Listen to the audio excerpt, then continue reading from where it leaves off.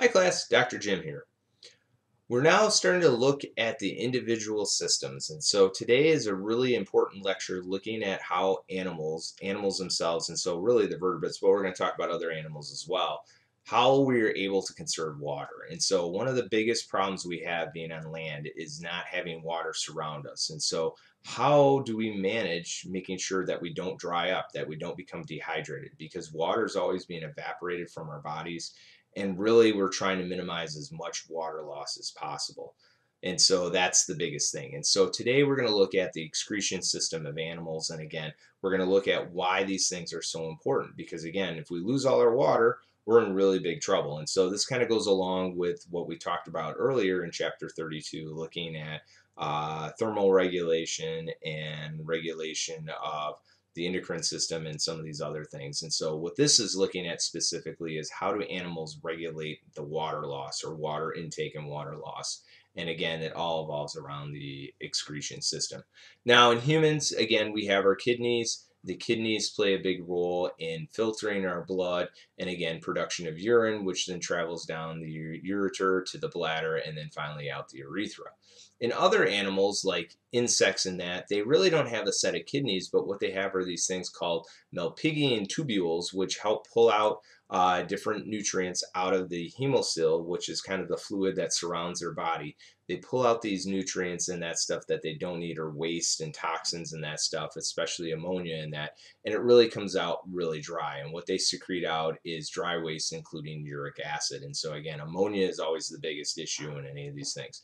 And again, looking at other animals, very similar when we look at other animals like uh, vertebrates, again, kidneys, ureters, the bladder, and urethra, and again, the kidneys work the same way. And we're going to talk about why uh, vertebrates or mammals in general have, have become so successful on land because of the development of these kidneys. In order to survive on land, you need to minimize your water loss. And so either you're going to be attached to the water and stuck with the water like amphibians, where again, they have rudimentary kidneys and that stuff, and they work pretty well.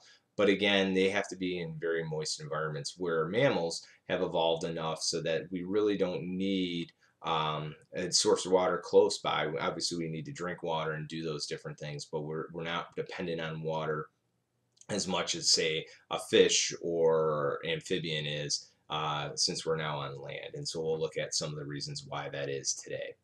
So again, we're going to talk about what is, what type of osmoregulation systems do animals have. And again, osmoregulation is controlling the amount of water and water loss, and we'll look at that. So we're going to go back to osmosis again and look at all that good stuff.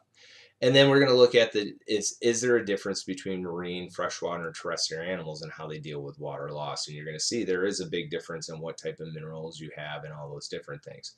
And then finally, like I said before, how have mammals adapted their kidneys to be on land? And so we're going to really take a close look at not only the humans but again really at all mammals and even focusing on a little of those that grow in or that grow that live in very uh, warm dry environments like the desert and see what they do differently uh, to conserve water because that is always the issue when we're talking about living on land and especially dry environments.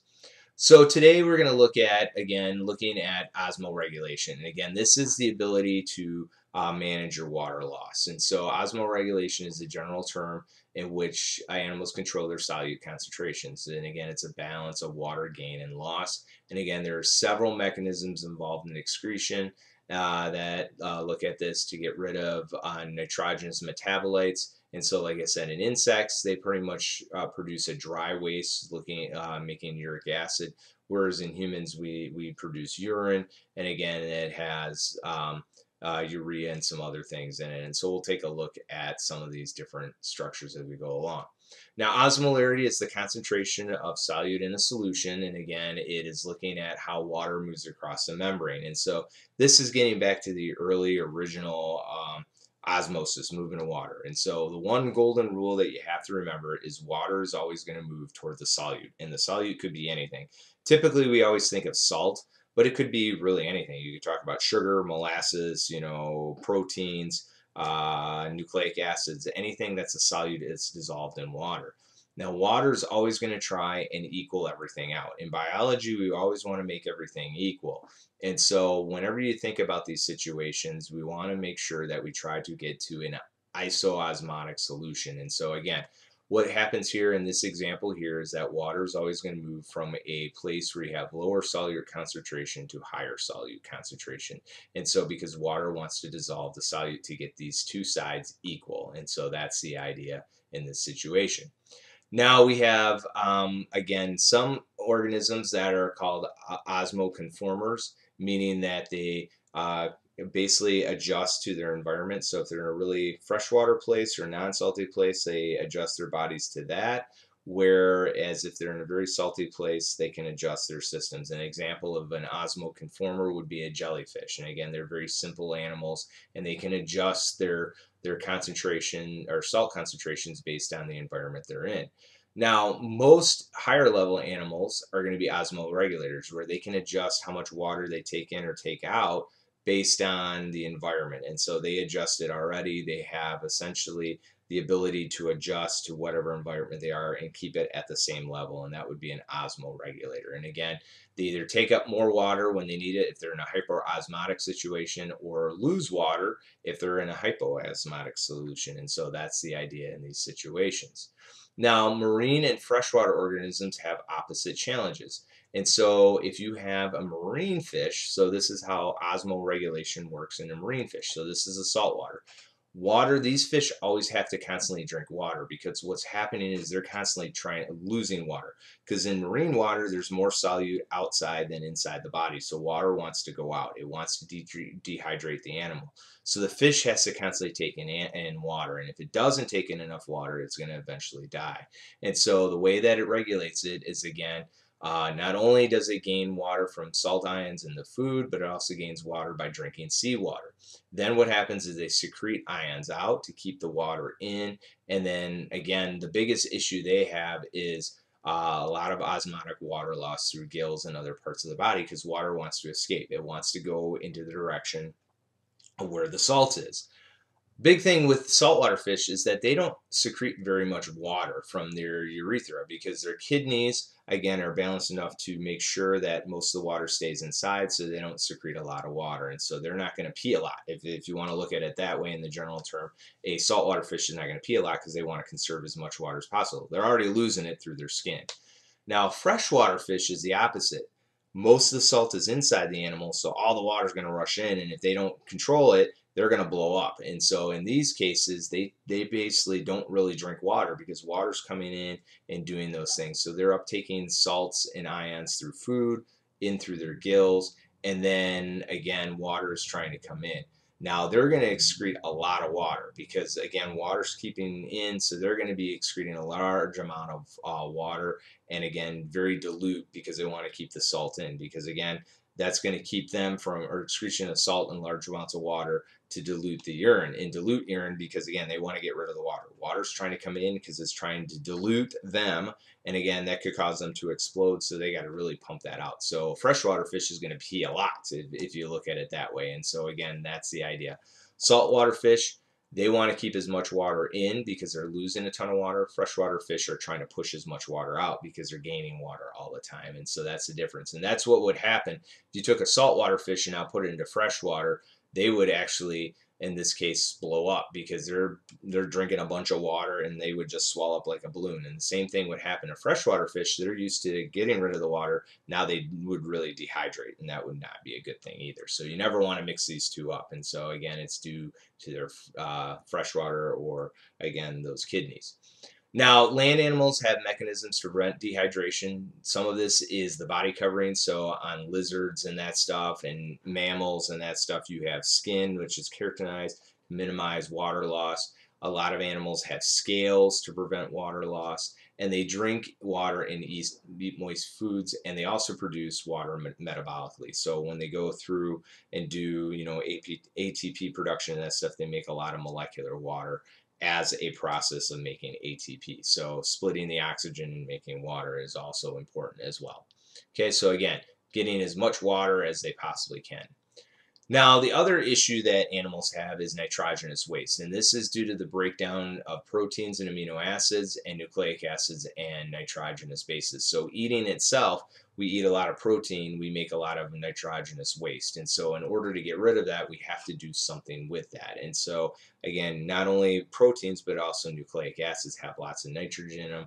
And so, the organism cells have to get rid of the nitrogenous waste. So, there's one of one of three ways that animals get rid of it. They convert it to, again, some type of ammonia or ammonia group and then get rid of it to excrete. So the first group is the, uh, again, aquatic animals that will secrete ammonia. So just NH3, make it very easy. Uh, most birds and reptiles and insects and other land animals will secrete uric acid, which is a very complex molecule. Again, and then for the mammals, amphibians, and sharks and some bony fishes, we we basically secrete urea in the form of urine and that stuff. And again, we'll look at how the kidney works here in a little while. But these are really the main nitrogenous pro, pro, um, products we make to get rid of the nitrogen. And so again, because nitrogen can be very toxic in that stuff, so we have to um, get it out of our bodies. And so ammonia can be toxic to the body. So the quicker we can get rid of it, the better off we are. And so that's the key uh, whenever we think about excretion. It's not only uh, keeping the water, but getting rid of the toxins that are in, in the body. Now, like I said, ammonia excretion is the most common in aquatic environments. Most terrestrial animals secrete urea. And again, it's a conversion product ammonia, which is much less toxic. So again, we can hold it in our bladder and it doesn't cause as many problems. And then insects, land snails, and reptiles, including birds, secrete uric acid, which is a semi-solid paste. So the bird poop you actually get is not only food, but it is also their uh, nitrogenous waste. And so that's the paste that you see associated with that. And so again, all these things are less toxic than ammonia and it generates very little water loss, but it is energetically more expensive because then uh, doing that to produce uh, because again you have to go and convert it all. And so that's the problem. You get this ammonia byproduct and then you got to convert it into either uric acid or urea which is more expensive than just secreting out ammonia in these situations. Okay now, in most animals, osmoregulation and metabolic waste disposal rely on transport epithelia. And so, again, these are cells that help move things across membranes. And so, that's going to be the key step. So, when we talk about blood and capillaries, again, you're going to have these solutes going across the, the movement along with water. And that's where you're going to see this. And again, these cells are um, specialized for moving. Uh, solutes across in controlled amounts across specific things. And so they have carrier proteins and all these other things really built built in so that they can secrete and transport nutrients one way or the other. And so this is what we see especially in kidneys. So you can see here sodium going in and out associated with potassium and then sodium and glucose coming out through the tubular fluid and that. And so we'll look at all this stuff when we look at the kidneys here in a few minutes uh, when we look at it. Okay, now the excretion uh, excretory system of animals. Again, many animals uh, series or species produce uh, fluid waste uh, by refining filtrate of derived fluids. And so again, the idea is to filter. So you filter the body fluids, and so what happens is the blood comes in, you filter, the blood runs along, and so during this time, what you have is a number of different things. You have reabsorption and secretion from the blood, and so again, reclaiming valuable solutes, that's the reabsorption part, and then secretion is getting more non-essential solutes and waste from the body fluids into the filtrate, and then finally excretion, which is getting the nitrogenous uh, waste from the body, and so we'll talk about this.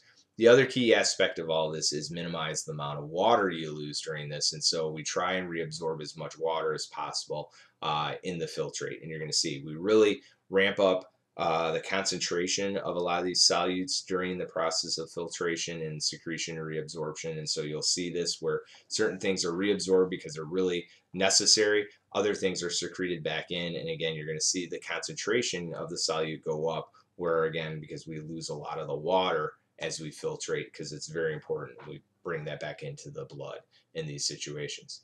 Now, if we look at invertebrates, they have a very simple system uh, called uh, pro, uh, protonephridia, which essentially is these uh, tubules connected to inner openings. And so the best example of the protonephridia is in these wonderful planaria. And what they have are these tubes all the way around. And again, these are freshwater, so water's constantly coming in and they've got to excrete it out. So what they do is they essentially have these cilia and other things that will take the interstitial fluid convert it over, transport it out, and then pipe it through these tubes, which they'll excrete out through the external environment. And so they make a very dilute uh, urine uh, because again, they got to get as much water out because they're in a freshwater environment. Water's coming in to try and dilute them out, so they got to excrete as much water out as possible. So these animals would not survive without an ex excretory system because they just get big and bloated and eventually blow up because they, they can't deal with all the fresh water that they that they live in. And so that's the key that they got to get. They have to have good excretion systems to get the water out. Now in insects, because they're on land, Again, they want to minimize the amount of water. So again, the big thing is the nitrogenous uh, products. And so again, the Malpighian tubules, which are associated right around the midgut and that will remove any of the digestive waste and nitrogen that's in the fluid-filled coelom. And again, these things, again, will bring the ammonia and other things and then they'll convert it into uric acid and then it's all secreted out the same opening as the dry waste with the rectum. And so again when they poop they're essentially expelling out their uric acid as well so the dry paste. And this is the same very similar. Now birds don't have Malpighian tubules but they do make uric acid in that and also in reptiles. And so they have one excretion system along with the one digestive uh, exit, which is the anus. And so in birds and in reptiles, they just have what is called the cloaca, and they expel out all their uh, dry urine or uric acid as well as their uh, food waste as well in these situations. Okay, now invertebrates, again, invertebrate animals, uh, again, some slight differences. Like I said, birds and reptiles are a little bit different. But invertebrates, we have, in other chordates, we have the kidneys, which function both in osmoregulation and excretion. And again, it consists of tubules arranged and organized in array with a network of capillaries. And then the excretory system includes ducts and other structures that carry urine out of the body. And so in the human, we have the kidneys. There can, uh, again, uh, emptied out through the ureter, that goes to the urinary bladder, and finally excreted out through the urethra and then out of the body. And in, again, upper upper vertebrates and mammals, they have two openings again, except for the duck-billed platypus, which has the cloaca. But in everything else, all the other animals have uh, both an anus and then a urethra in, in, those situations. And so you'll see that as we get into the further animals, except, like I said, the, the birds, the birds, the reptiles, and the frogs. But again, mammals pretty much all have that where they have the two openings in this case. So again, when you look at the kidney structure, the, the kidney has the two parts. You have the renal cortex and the renal medulla, and this is the series of tubules in here, and we'll talk a little bit more about what's going on. You also have these capillaries around it, and then you have the renal pelvis, which is basically the collection, the collecting ducts of the, again, the uh, renal medulla, which collects the fluid, and then works its way to the ureter, and then empties out into the bladder where the urine is held.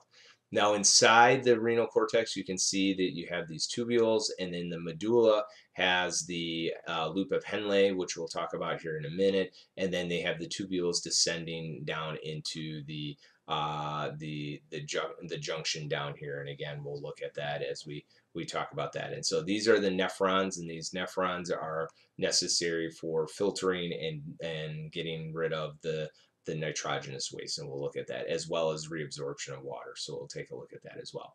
Now, this kind of gives you an idea of what the nephron looks like. So again, you have the collecting duct, which then works its way out to the ureter and that stuff. But what you have here is essentially this capsule, and this is called the Bowman's capsule. And essentially, this is where the capillary will filter all the different things out out of that, the fluid and the solutes out of the blood in this case.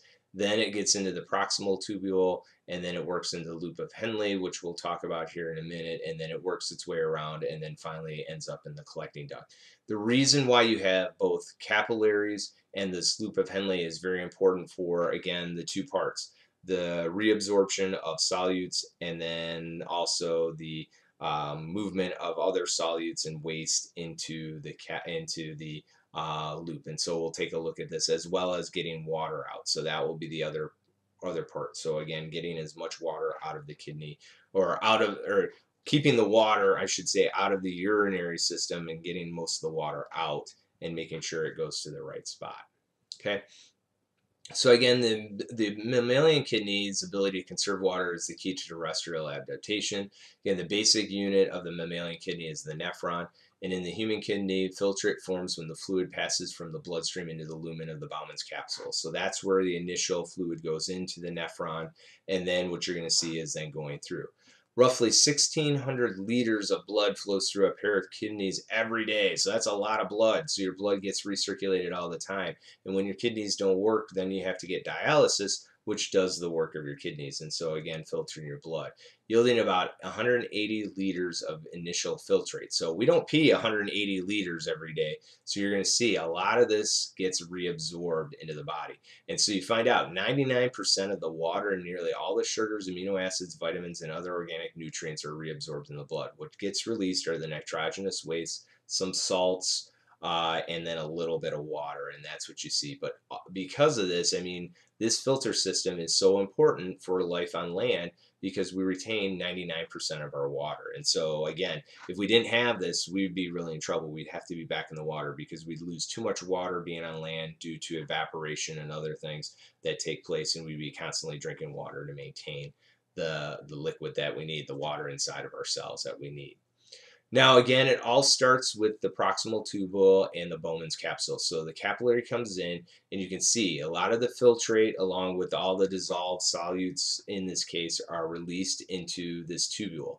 And so you can see these numbers represent the amount or the concentration of solutes in this case. And you're going to see the numbers fluctuate as we go along in these different things. So in the proximal tubule, you start to see nutrients uh, come in and out based on what is needed. Now, certain nutrients are required along with water is being pulled out, and you start to see that again, certain ammonia and other things are added in. So again, this is where that um, filtration starts to take place. Protons and ammonia are added in, while certain nutrients and other things that are important are filtered out. Okay, and so that's the proximal tubule. And again, these things, some toxic materials are actually actively secreted into the filtrate to get rid of the toxins as well. Now we get into what is called the descending limb of the loop of Henle. So this is the loop of Henle right here. And again, this is important for, again, maintaining water balance. And so this is going to be the big thing. So when you see the descending loop, uh, our limb of the loop of Henle, you're going to see a lot of water come out. This is where a lot of reabsorption of water as well as some solutes are taking place. And again, it's because the concentration is going up, water's being pulled through into the kidney in this case. And what you're seeing is because the water's being pulled out, the solute concentration is going up. And so again, you see this number. Okay, and so reabsorption of water occurs through aquaporin uh, protein channels. The movement is driven by the high osmolarity of the interstitial fluid, which is hyperosmotic to the filtrate. So again, more solute out here than in here because of the nutrients in that. So that's pulling the water out passively through osmosis. And again, the filtrate becomes increasingly uh, concentrated as it works its way down because more water is getting pulled out. Okay, so that's the descending limb. Now it makes the return and goes up called the ascending limb. And so again, this is called the ascending limb Uh, uh, the loop of Henle, and again, in those, these lack water channels. So water doesn't escape now, but what you're seeing is urea and salts being pulled out in this case. But salt, salt, but not the water is able to move from the tubule into the interstitial fluid. So you can see here, salt is being pulled out because of the high concentration of salt, so that's being allowed to go through. And then also what you're seeing is urea being pulled in. So the, the solute concentration actually goes down because of the salt concentration, but what you're seeing is is that other things are going in and water can't leave. And so now it becomes more dilute as you're working on because you have more water in this and less salt in these situations. So first pulls out the water, then concentration concentrates the urine, and then more salt gets pulled out of this indication. But the other things that's that stay are the waste products. And so you're getting rid of the waste, but maintaining both the salt and water in these situations to help with this process. Now we get up to the distal tube, which is again next to the proximal tube, and now you see more salt being pulled out, more water being pulled out, and then you get potassium hydro and, and proton ions in this case. And again, concentrations regulates those concentrations, and then the ions contributes to the pH regulation in this case so that it stays uh, neutral pH in this situation. Then you get the collecting duct where again more water and salts being pulled out, concentrating the urine as well as urea and other things. And so again, depending on a number of different things, the regulation of permeability, uh, determines the concentration of urine. And again, we'll talk a little bit more about that when we talk about hormones. And again, it depends on how much water you drink, depends on the concentration of urine. So the more water you have in you, the more likely you're going to get rid of it because you don't want to have too much water in your body. And again, the less water you have, the more concentrated urine is going to be. And you know this. You drink a lot of water during the day, your, your urine is very clear. When you don't drink a lot of water during the day and that stuff and you've been working out and doing all those things it comes out very yellow and very dark and almost almost an orangey color because it's so concentrated with nutrients and salts and other things like that that again it comes out a different color based on uh, the amount of water you have in your body at the time. So you know you're really dehydrated this again just shows you the whole part of this and how this works and again it's a constant uh, pulling in reabsorption of water, reabsorption of salt and nutrients, and then pulling that out and concentrating it to get the waste out. So the idea is maintaining the solute, uh, the solute of salt and water in the kidney and getting that out of the filtrate, but putting the um, waste products in. And so that's going to be the key. Making higher concentrations and that stuff. The higher concentrations are going to allow for, again, the um, for the movement of water one way or the other in these cases. And again, biggest thing is the loss of the waste. And so even some drugs and that stuff we know pass through the kidney pretty quickly in that stuff. Now, the mammalian kidney's ability to conserve water is the key for terrestrial adaptation. And again, the looping Henle, loop of Henle and the surrounding capillaries act as a countercurrent system, meaning that they're pulling water out and then you're multiplying the solute concentration. So the system involves active transport, thus an expenditure of in, uh, energy. And again, this system is called a countercurrent multiplier system because essentially what you're doing is pulling water out through osmosis and active transport of the salt. But what you're doing is you're collecting and collecting the waste products and just allowing yourself to conserve the water and salt but get rid of the waste products and those things. And so this capillary, the vasa recta, kind of goes along with the loop of Henle, and you can see where things are being pulled in and pulled out uh, during this. And that's why it's called a countercurrent, because you're pulling things out and adding things back in all the time as it passes around these systems. Now, variations in nephron structure and function equip the uh, kidneys of uh, different vertebrates uh, for osmoregulations. One of the big differences is the desert dwelling mammals. How do they um, do this? And so, again, they're going to have the most hyperosmotic urine, meaning they're going to have the most salt uh, in those because they want to conserve as much water as possible. Because where they're losing their water is through evaporation, the most where they're losing it. Whereas an animal like a cow, which is in not a uh, hyperosmotic environment, is going to lose most of their water through urine, even though they have it.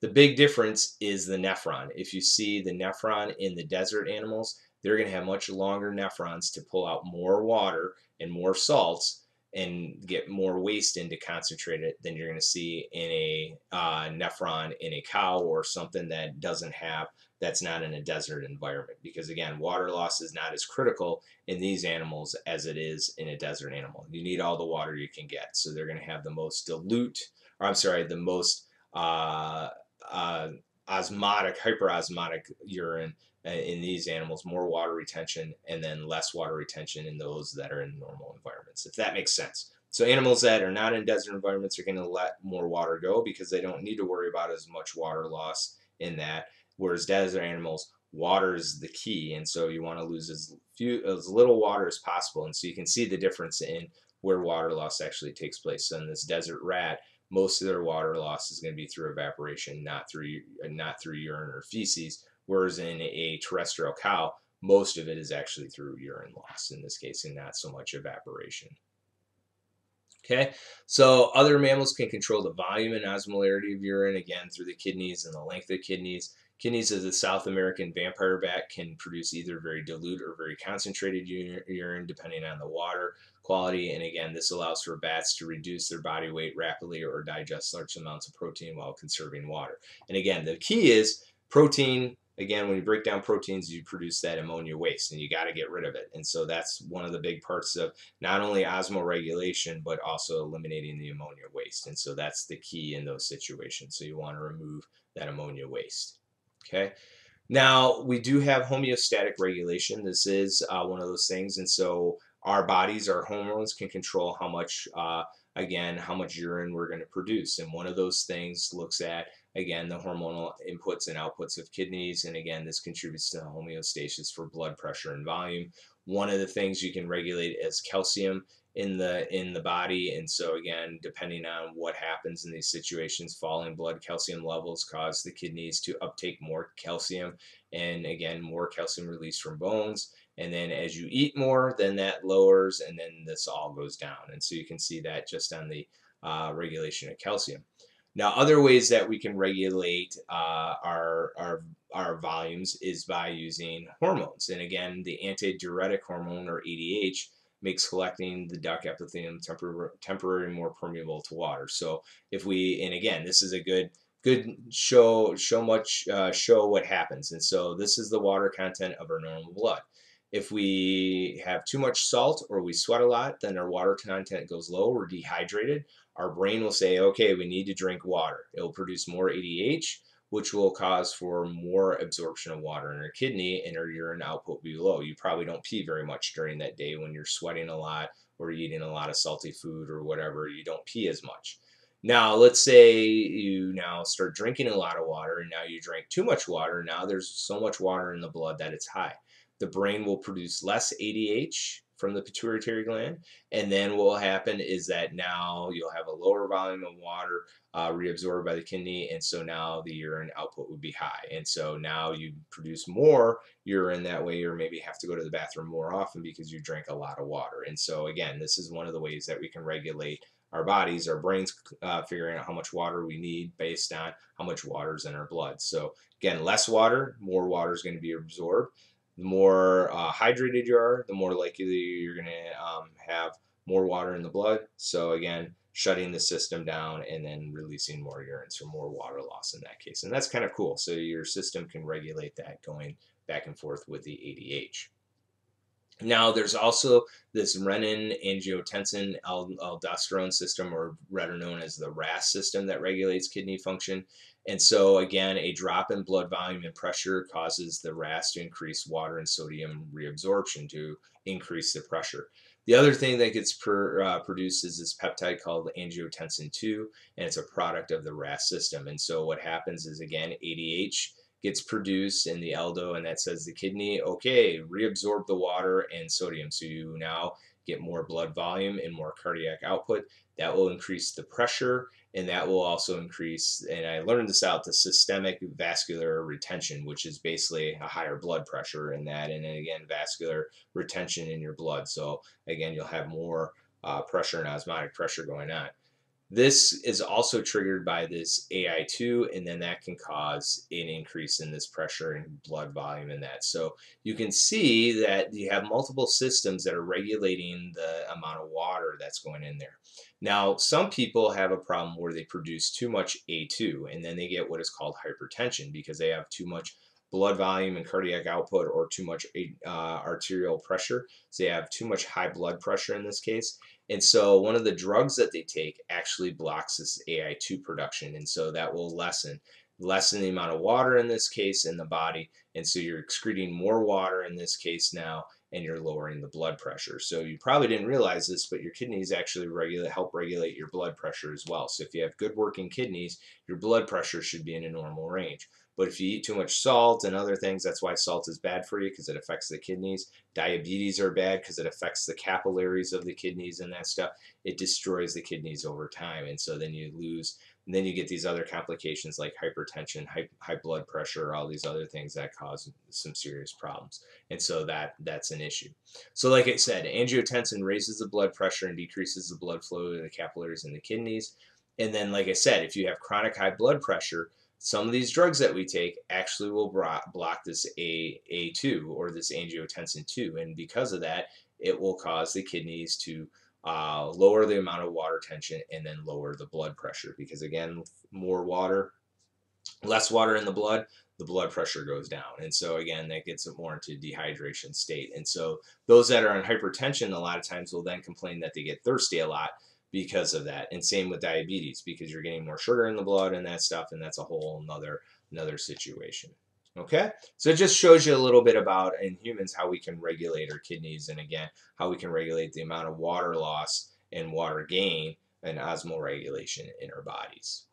So we made it to the end of the video. Hopefully you learned a little bit about the kidneys today. I know I didn't get into too much, but it showed you a little bit of the differences between the vertebrate animals and how they secrete and that stuff. And you can see that the kidneys not only play a role in getting rid of waste, but they also play a role in osmo osmoregulation. And that's what the first bullet point says, is that the shared system mediates osmoregulation and excretion in many animals. So again, the key is making sure that you maintain water. Being on land, one of our biggest problems is holding onto the water that we have. And so you don't want to lose that water through peeing it out and evaporation. So again, the kidneys make sure that we retain most of our water, that we don't urinate it all out, and that we're constantly having to drink water. So again, water gain and loss in cells, and then the ammonia, removal of ammonia, and that's again the breakdown of proteins and nucleic acids in the body producing this uh, nitrogenous waste.